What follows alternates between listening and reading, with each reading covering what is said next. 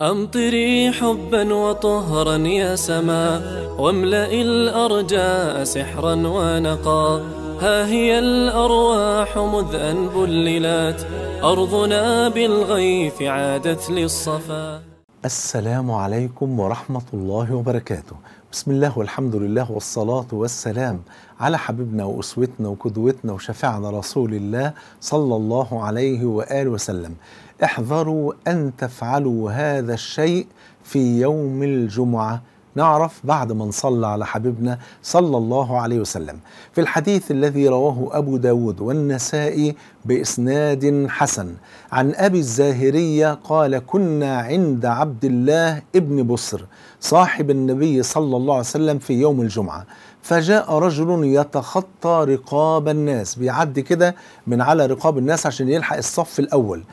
فقال فجاء رجل يتخطى رقاب الناس فقال عبد الله ابن بصر جاء رجل يتخطى رقاب الناس يوم الجمعة أي في عهد النبي والنبي صلى الله عليه وسلم يخطب. فقال له النبي صلى الله عليه وسلم وهو على المنبر قال له اجلس فقد آذيت وآنيت. يعني أنت آذيت الناس بأن أنت عمال بتتخطى رقاب الناس في يوم الجمعة.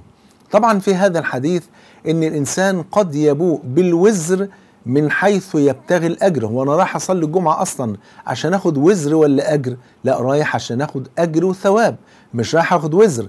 لكن هذا الإنسان عمل ثلاث حاجات. أول حاجة هذا الرجل الذي يتخطى رقاب الناس يوم الجمعة ألهى المصلين عن سماع الخطبة لأنه هو هو بيتخطاهم خلاهم كده ينتبهوا ليه ويتركوا الخطيب وهو بيخطب فمش مركزين في الكلام اللي بيقوله هذا الخطيب لأن هم طبعا بيفقدوا التركيز في أثناء ما ده عمال بيعدي من إيه؟ من على كتافهم. الحاجة الثانية كذلك هذا الإنسان تسبب في مضايقة المصلين لأنه هو بيعدي بيضع قدمه حول أكتافهم وهو يتخطاهم. وده موضع الإنسان لا يرضى أن واحد يضع قدمه عند رقبته أو كتفه أو عند رأسه. يعني الإنسان بيتأذى من هذا الفعل. الحاجة الثالثة إن هو عايز يضيع على القادمين مبكرا أجر الصفوف الأولى يعني واحد جاي قبليه بساعتين ثلاثة وقاعد في الصف الأول وده جاي بعد ما الخطبة بدأت بربع ساعة وداخل عمال يتخطى الصفوف عشان يجلس برضه في الصف الأول فعايز يضيع عليهم أجر القدوم مبكرا إلى المسجد طيب يا شيخ محمود المشكلة دي نحلها إزاي بقى؟ نحلها بثلاث حاجات في غاية البساطة. رقم واحد التبكير للصلاة مبكرا حتى لا نتخطى الرقاب. قال صلى الله عليه وسلم كما عند البخاري ومسلم قال من اغتسل يوم الجمعة غسل الجنابة ثم راح في الساعة الأولى فكأنما قرب بدنه. يعني لو راح مبكرا يوم الجمعة في الساعة الأولى كأنه تصدق بجمل بناقة. تخيلوا حضراتكم شوفوا الجمل النهارده يسوى قد إيه؟ فكأن الإنسان اشترى الجمل ده وتصدق به ابتغاء مرضات الله. ومن جاء في الساعة الثانية فكأنما قرب بقرة كأنه تصدق ببقرة. ومن جاء في الساعة الثالثة فكأنما قرب شاة. ومن جاء في الساعة الرابعة فكأنما قرب دجاجة ومن جاء في الساعة الخامسة فكأنما قرب بيضة. شوفوا بقى حضراتكم كل واحد فيكم يتمنى أن يكون تصدق بإيه ويروح في الساعة التي يريد أن يذهب فيها بفضل الله. بل وجاء أيضا عند أحمد وأصحاب السنن بسند صحيح أن النبي صلى الله عليه وسلم قال من غسل يوم الجمعة واغتسل ثم بكر وابتكر ومشي ولم يركب ودنا من الإمام واستمع وأنصت ولم يلغو كتب له بكل خطوة يخطوها من البيت إلى المسجد. أجر أجر عمل سنة كاملة أجر صيامها وقيامها. ما شاء الله. يعني الواحد لو جه يوم الجمعة وإيه وقام الصبح كده اغتسل. ف وبعد ما اغتسل ذهب إلى الإيه؟ إلى المسجد ماشيا على أقدامه.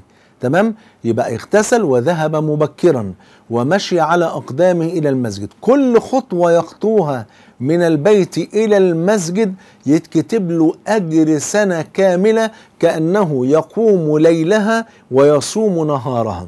لمدة سنة كاملة. طيب بينه وبين المسجد يا شيخ محمود حوالي ألف خطوة يتكتب له عبادة ألف سنة بذهابه إلى الجمعة ماشيا بعد أن اغتسل وذهب مبكرا وذهب ماشيا على رجليه إلى المسجد. ودنا من الإمام يعني جلس في الصفوف الأولى. تمام كده؟ طب راح مبكرا هيعمل إيه يا شيخ محمود؟ يتنفل يقعد يصلي كده على قد ما ربنا يقدره يصلي شوية يقرأ قرآن شوية يذكر شوية يصلي على النبي صلى الله عليه وسلم لأننا مطالبون بالإكثار من الصلاة على النبي في يوم الجمعة هو الذي أمرنا بذلك. أكثروا من الصلاة علي في يوم الجمعة فإن صلاتكم معروضة علي كما قال صلى الله عليه وسلم. وبعدين يستمع إلى الخطبة وينصت ولا يلغو ما يكلمش حد حواليه. لو عمل كده ياخد أجر ألف سنة. لو كانت ألف خطوة ياخد أجر ألف سنة صيامها وقيامها. لو كانت 500 خطوة ياخد أجر 500 سنة. طب والمرأة يا شيخ محمود وهي في البيت بتصلي الظهر في وقت الجمعة تاخد نفس أجر الرجل.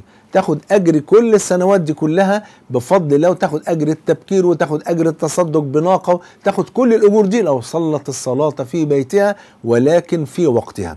يبقى أول حاجة من العلاج إن إحنا نبكر إلى الصلاة في المسجد في يوم الجمعة. رقم اتنين أن الذي يذهب مبكرا يا حبايبي بمجرد ما بيوصل للمسجد لابد أن يحرص على أن يجلس في الصفوف المقدمة ما يجوش ما يجيش واحد رايح المسجد الساعة 10 الصبح أو 9 الصبح يقوم جالس في نص المسجد أو يجلس في مؤخرة المسجد لأ وليه تفوت على نفسك الأجر والثواب ده كله؟ اجلس في مقدمة المسجد بفضل الله سبحانه وتعالى علشان يبقى كده. اللي جه الأول احتل الصف الأول أو جلس في الصف الأول. اللي جه بعد كده جلسوا في الصف الثاني وهكذا ويبقى المسجد كده بيتملي أول بأول لحد ما يوصل الآخر إنما بقى ده يجي يجلس في الصف الأول ده يجلس في الصف الثالث وده في الخامس والمسجد فاضي فتيجي تلاقي الناس عمالة بتتخطى الرقاب عشان تملى الصفوف المقدمة. يبقى كده عشان نمنع تخطي الإيه؟ تخطي الرقاب يبقى اللي يجي بدري يعني يجلس أمام بفضل الله سبحانه وتعالى. رقم ثلاثة إن المصلي لابد أن يفهم حبايبي انه أنه ذهب إلى المسجد من أجل الفوز بالأجر والثواب والمغفرة. والمغفرة بتتحقق بأشياء كثيرة جدا منها عدم التفريق بين اثنين في الصلاة. ان أنا ما أجيش أتخطى الرقاب وأجي بين اثنين وأروح زايح ده كده أو زائد ده كده عشان أقعد وسطهم. قال النبي صلى الله عليه وسلم كما عند البخاري وأختم بهذا الحديث.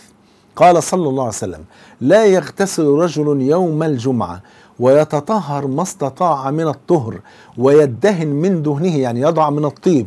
أو يمس من طيب بيته ثم يخرج فلا يفرق بين اثنين ثم يصلي ما كتب له يعني يتنفل قبل صلاة الجمعة ثم ينصت إذا تكلم الإمام عند خطبة الإمام ينصت ويستمع إلا غفر له ما بينه وبين الجمعة الأخرى يعني يتغفر له ذنوب سبعة أيام بفضل الله سبحانه وتعالى. يبقى علاج الموضوع ده حبايبي التبكير إلى الصلاة الحاجة التانية اللي يجي مبكرا يجلس في الأمام ما يجلسش ورا علشان بعد كده الصفوف تكتمل أول بأول فلا يسمح بعد ذلك بتخطي الرقاب.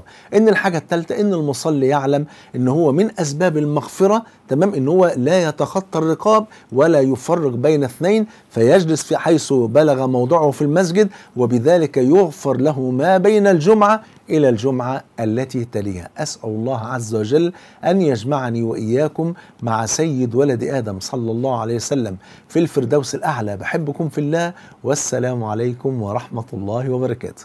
أمطري حبا وطهرا يا سماء واملئ الأرجاء سحرا ونقا. ها هي الأرواح مذ أن بللت أرضنا بالغيث عادت للصفا.